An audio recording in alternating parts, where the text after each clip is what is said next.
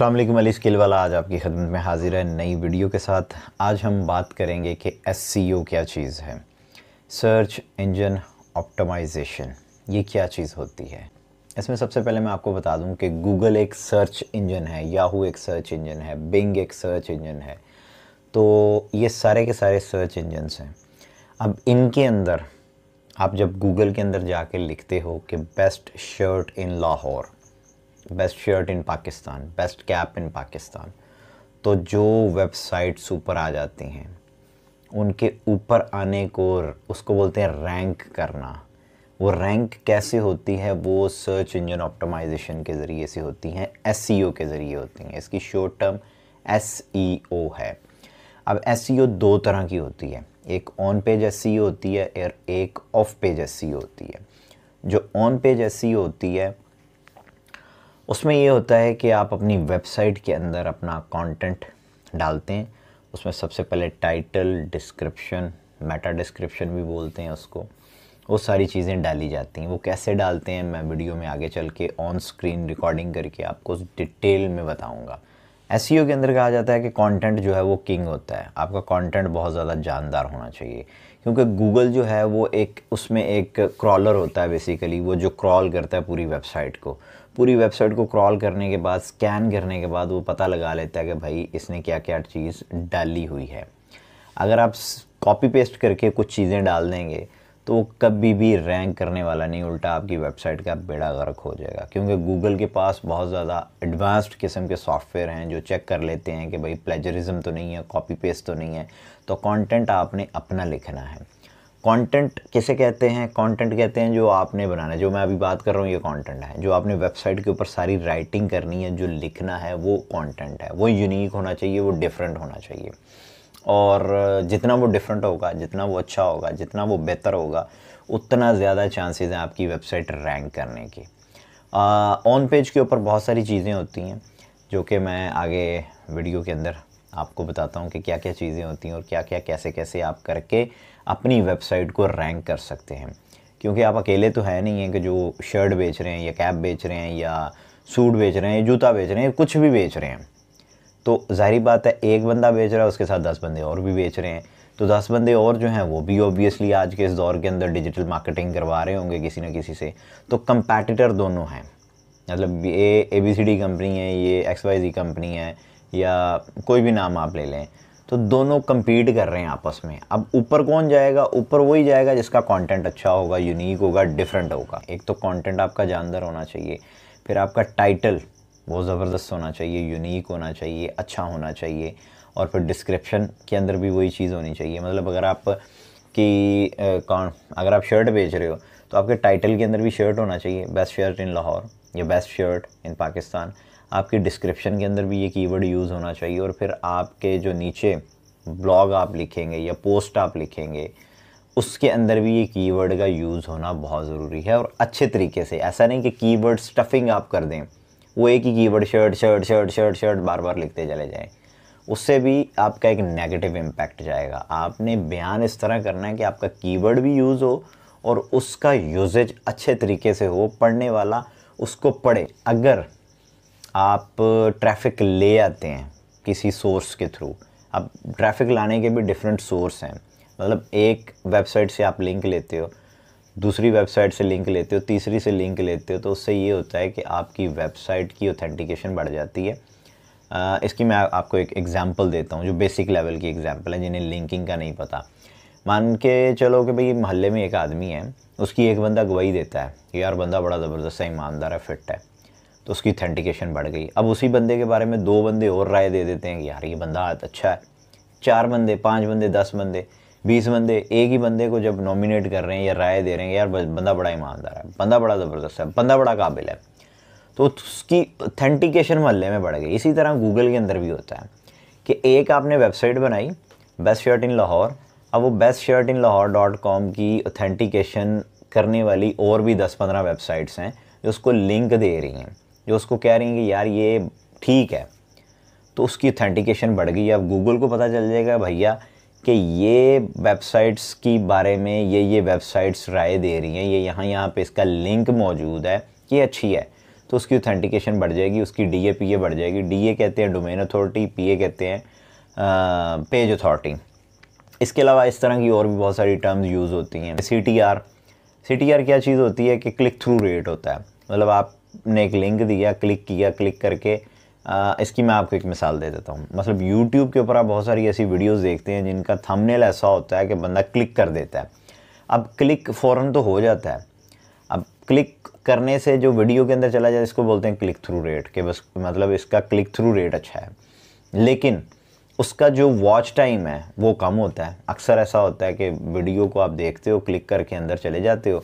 But जब आप video देखते हो तो वो वीडियो उस तरह की नहीं होती जो थंबनेल पे दिखाया जा रहा होता है। तो आप उसको छोड़ देते हो। उसको बोलते, ये जो छोड़ के आप आ जाते हो, इसको बोलते हैं बाउंस बैक या बाउंस रेट अब जिस वेबसाइट का या जिस वीडियो का बाउंस रेट ज़्यादा होगा, उसके चांसेस कम है ऊपर जाने के।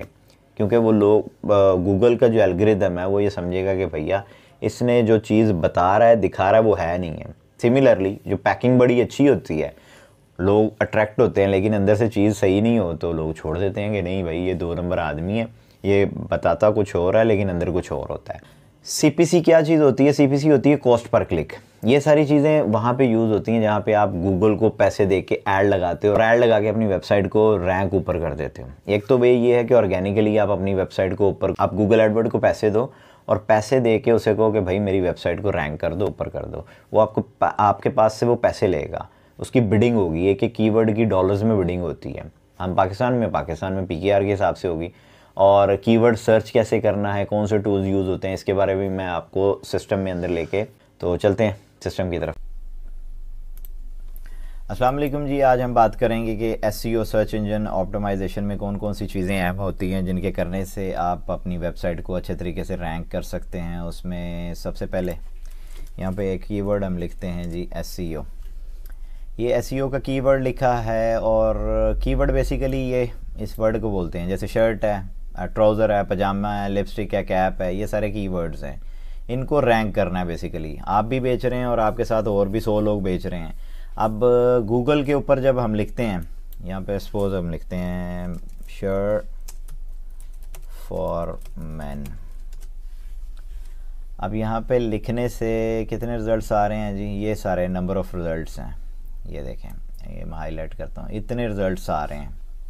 अब इतनों में से आप पहले नंबर पे कैसे आएँगे, उसके लिए आपको ऑन पेज एस की ज़रूरत पड़ती है। अब यहाँ पे आउटफिटर्स वाले पहले नंबर पे हैं, इसका मतलब इन्होंने ऑन पेज एस की हुई है। ऑन पेज एस में क्या क्या चीज़ें अहम होती हैं, उसमें सबसे पहले बात कर लेते हैं तो कीवर्ड रिसर्च आपने करनी है कीवर्ड्स ढूँढने हैं, अच्छे कीवर्ड्स ढूँढने हैं। और यहाँ से मैं आपको छोटा सा एक आइडिया भी दे देता हूँ। यहाँ ये गूगल का एक प्लानर है जो फ्री में मिलता है कीवर्ड टूल है जिसको हम कहते हैं। यहाँ से हम चेक कर सकते हैं। शर्ट फॉर मैन अब ये लिखने के बाद इसको थोड़ा सा नीचे करते हैं तो गेट रिज़ल्ट्स यहाँ पे आने के बाद जी आपको पता चलता है टी शर्ट ये इसकी एवरेज सर्च वॉल्यूम है। कंपटीशन मीडियम लेवल का है, बारह रुपये से चौरासी रुपये बिड रेंज है इसकी। अगर ज़्यादा पैसे लगाएँगे तो आप ऊपर आ जाएँगे, अगर कम पैसे लगाएँगे तो आप नीचे रहेंगे। इससे अलावा ये सारे कीवर्ड्स हैं जिनके ऊपर रिसर्च हुई है। अगर हम ये ड्रेस शर्ट के बारे में बात करें तो एक हज़ार से दस हज़ार लोगों ने इस कीवर्ड को रिसर्च किया गूगल के ऊपर लास्ट मंथ के अंदर। तो इस तरह इसको कीवर्ड बोला जाता है और इस तरह इसको चेक किया जाता है। बाकी मज़ीद इसके अलावा बहुत सारे जो हैं वो कीवर्ड चेक करने के टूल हैं जो आपको इंशाल्लाह नेक्स्ट वीडियो में आप इसके बाद अगली चीज़ आती है जी आपका टाइटल इसको बोलते हैं टाइटल इसको मैं हाईलाइट कर रहा हूँ, इसको थोड़ा जूम जूम इन करते हैं। ये टाइटल है मैन शर्ट आप देख रहे हैं कि शर्ट फॉर मैन तीन कीवर्ड हमने यूज़ किए हैं, अब ये दो कीवर्ड शर्ट और मैन ये तो ट्रांजैक्शन वर्ड है। ये दोनों कीवर्ड यहाँ पे टाइटल में भी इन्होंने डाले हुए हैं और इसके बाद ये जो है यूआरएल इसका ये ऊपर वाला यूआरएल है। ऊपर वाली लाइन जिसमें मेरा कर्जर है, ये यूआरएल है। यहाँ पे भी उन्होंने दोनों कीवर्ड डाले हुए हैं। उसके बाद अगर आप नीचे देखते हैं तो ये डिस्क्रिप्शन है इसकी क्योंकि इन्होंने डिस्क्रिप्शन के अंदर वर्डिंग थोड़ी ज़्यादा डाली हुई है, कम करनी चाहिए। तो इसके अंदर भी हम चेक कर लेते हैं कि इन्होंने क्या क्या चीज़ें डाली हुई हैं। इसके अंदर इन्होंने वो कीवर्ड नहीं यूज़ किया हुआ, न शर्ट ना मैन बट अगेन ये कर गई है। क्योंकि इनके बहुत ज़्यादा आउट लिंक्स मतलब आउटबोर्ड लिंक्स होंगे या बैक लिंकिंग की होगी, जिसकी वजह से इनको जो है वो रैंक कर रहे हैं ऑर्गेनिकली दूसरे नंबर पे ये शॉप वाले आ जाते हैं। इन्होंने जो है वो रैंक किया हुआ है। अब, पहली चीज़ ये है कि यूआरएल के अंदर, ये देख रहे हैं, दराज वालों के अंदर भी ये जो है इनकी यूआरएल के अंदर कीवर्ड है टाइटल के अंदर कीवर्ड है, फिर ये मेटा डिस्क्रिप्शन इसको बोलते हैं। इसके अंदर भी कीवर्ड है। अब इसके अलावा एक और चीज़ होती है जिसको बोलते हैं स्ट्रक्चर डेटा स्ट्रक्चर डेटा में क्या होता है कि वहाँ पे आप जाके आप बता देते हैं, जनाब, के हम क्या काम करते हैं क्या क्या चीज़ें हैं, जिसकी वजह से वो गूगल के एल्गोरिदम को पता चलता है कि भाई ये फ़लाँ काम करते हैं और इनको वो ऊपर कर देते हैं कैच हासिल हो जाता है। उसके बाद जो भी आप कंटेंट लिखते हैं, अब यहाँ पे अगर हम चलते हैं वेबसाइट के ऊपर तो ये एक क्या लें उसको सेलिंग परचेजिंग की वेबसाइट है तो यहाँ पे इन्होंने पूरी डिटेल दी हुई है। ये देख रहे हैं, ये कंटेंट है बेसिकली इसके अंदर इन्होंने सारे वो कीवर्ड्स भी डाले हुए हैं और सारी चीज़ें डाली हुई हैं। अब ये जो शर्ट है ये जो पिक्चर है पिक्चर को भी इन्होंने ऑप्टिमाइज़ किया हुआ है और इसके ऊपर जो है वो आर्ट लगा हुआ है। आर्ट टेक्स्ट लगाने का मतलब ये है कि यहाँ पे भी इसका जो फ़ाइल नेम है, इस पिक्चर का, उसके साथ भी आपने कीवर्ड लाजमी लगाया हो तो आप इसको जल्द रैंक कर पाते हैं। अब इसके अलावा इंटरनल लिंकिंग क्या चीज़ होती है, वो मैं आपको बताता हूँ। जैसे ये है रजिस्टर इसको थोड़ा बड़ा करते हैं तो ये देखें। रजिस्टर के ऊपर लिंक लगा हुआ है। अगर मैं यहाँ पे जाके क्लिक करता हूँ तो नेक्स्ट पेज में मुझे लेके चला जाएगा, दराज ही की वेबसाइट के ऊपर। इसको बोलते हैं इंटरनल लिंकिंग इसी तरह एक आउटबाउंड लिंकिंग भी बोलते हैं। अगर यहाँ से मैं क्लिक करूँ तो दूसरी साइड पे चला जाऊँ। जैसे ये फेसबुक है, यहाँ पे क्लिक करता हूँ मैं तो एक नई वेबसाइट खुल गई। अब वो मुझे पूछ रहा है कंटिन्यू एज ए हाईटेक या नया कोई ईमेल आईडी डालना है जिसकी वजह से वो वहाँ से ओपन हो जाए। इसको आउटबोर्ड लिंकिंग भी बोलते हैं या सोशल लिंकिंग भी बोलते हैं। ये आपके बटन्स का एक्टिव होना बहुत ज़्यादा ज़रूरी है। उसके बाद एक और चीज़ आ जाती है जिसको बोलते हैं कि जी, आपकी वेबसाइट रिस्पॉन्सिव है या नहीं है। अब ये वेबसाइट जो है, वो रिस्पॉन्सिव है। देख रहे हैं, इसमें कट कुछ नहीं हो रहा।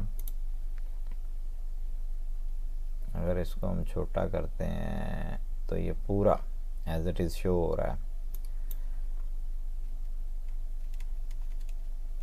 तो रिस्पॉन्सिव का मतलब ये होता है कि आपकी वेबसाइट जो है, मोबाइल के ऊपर भी पूरा उसका व्यू आए टैबलेट के ऊपर भी आए और अगर पीसी के ऊपर भी ओपन करते हैं तो उसका पूरा व्यू आए, उसको रिस्पॉन्सिव बोलते हैं। इसके अलावा आपकी वेबसाइट की स्पीड बहुत ज़्यादा ज़बरदस्त होनी चाहिए। पाँच सेकंड के अंदर अगर वेबसाइट खुल जाती है तो इसका मतलब ये है कि वेबसाइट बड़ी ज़बरदस्त जैसे ये वेबसाइट पे मैंने क्लिक किया और ये वेबसाइट गो के टाइम ज़्यादा ले रही है। स्टिल बट नॉट बैड लेकिन इससे और ऑप्टिमाइज होना चाहिए। जैसे ये मोज़ मोज़ की वेबसाइट खोलते हैं, ये देखें। फाइव सेकंड से पहले ओपन हो गई है। ये स्पीड रिक्वायर्ड है। इससे ये होता ही है कि इन्होंने, देखें इमेजेस नहीं लगाए हुए। तस्वीरें नहीं लगाई हुई ज़्यादातर, लिखा हुआ है कंटेंट और इनके होम पेज के ऊपर अगर हम जाते हैं तो लेट्स ये उसी टाइम खुल गया। इमेजेस कम लगाए हैं, ज़्यादा नहीं लगाए और हल्के लगाए हुए हैं। पेज का जो साइज़ है वो कम है, जिसकी वजह से ऑप्टिमाइज है स्पीड और जल्दी ओपन हो रही है। और गूगल इस चीज़ को पसंद करता है क्योंकि गूगल का एल्गोरिदम एक बॉट है और बॉट के अंदर जितनी ज़्यादा स्पीड के साथ वेबसाइट ओपन होगी, उतना ज़बरदस्त होगा और वो जल्दी उसको ऑप्टिमाइज़ करेगा। इसके अलावा जी रिस्पॉन्सिव भी हो गया स्पीड के बारे में भी हो गया सोशल लिंकिंग के बारे में भी बता दिया कि क्या चीज़ होती है। और फिर बेटर रीडेबिलिटी रीडेबिलिटी बोलते हैं कि अब लेट्स से ये मैं ओपन करता हूँ नील पटेल की वेबसाइट है। अब ये जो राइटिंग का फ़ॉन्ट है, ये ऐसा होना चाहिए कि समझ आ सके। अगर समझ आएगा तो ज़बरदस्त होगा, अगर समझ नहीं आएगा तो फिर पढ़ने वाले के यूज़र के लिए वो ज़बरदस्त चीज़ नहीं होगी और वो बाउंस बैक कर जाएगा। बाउंस बैक ये चीज़ होती है कि अगर मैं लेट से इस वेबसाइट पे आया हूँ मैंने दो सेकंड गुजारे हैं और मैंने यहाँ से क्लोज़ कर दिया है। इसका मतलब ये है कि ये वेबसाइट सही नहीं है। अब सही मल्टीपल रीजंस की वजह से सही नहीं हो सकती। उसका कंटेंट अच्छा ना हो या उसकी अंदर वो चीज़ ना हो जो वो बाहर बताई गई है, जैसे मैं पढ़ के अंदर गया हूँ, या उसकी राइटिंग स्टाइल अच्छा ना हो या तस्वीरें सही ना लगी हों। देर आर मल्टीपल रीज़न्स कि आपको वो यूज़र एक्सपीरियंस सही ना हो। जिसकी वजह से बाउंस बैक रेट बढ़ जाता है और वेबसाइट की रैंकिंग नीचे चली जाती है। तो आज की वीडियो से इतने ही। इंशाल्लाह नेक्स्ट वीडियो में मिलते हैं और इस टॉपिक को मज़ीद आगे लेके चलेंगे और मज़ीद जो इसमें चीज़ें रह गई हैं वो इंशाल्लाह नेक्स्ट वीडियो में